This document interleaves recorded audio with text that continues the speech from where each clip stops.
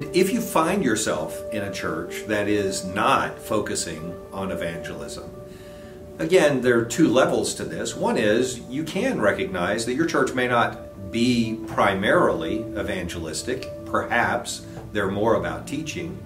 In which case, I hope you would be a part of saying to that church, well, let's not forget evangelism. Let's not forget about bringing in the lost and sharing the gospel with them or going out and finding the lost and sharing the gospel with them. So, at one level, there's recognizing that it may be to a lesser or greater degree than some other church you've been a part of.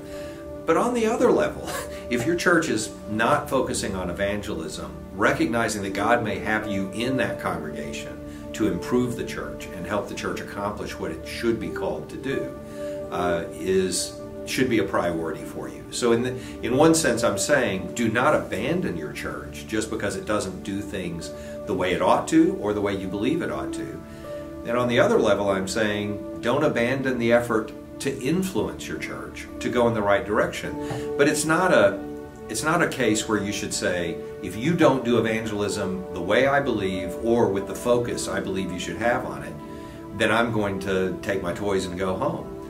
That should be your home. You should be committed to your community in the faith.